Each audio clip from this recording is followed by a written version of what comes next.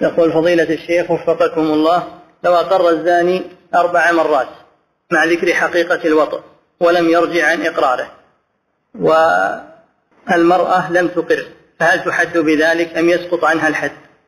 ما يثبت عليها الحد بكلامه يثبت عليه هو يثبت عليه هو وهي ما ما ما يبحث عنها ولا يقال اذكر لنا من هي ما يطلب هذا نعم.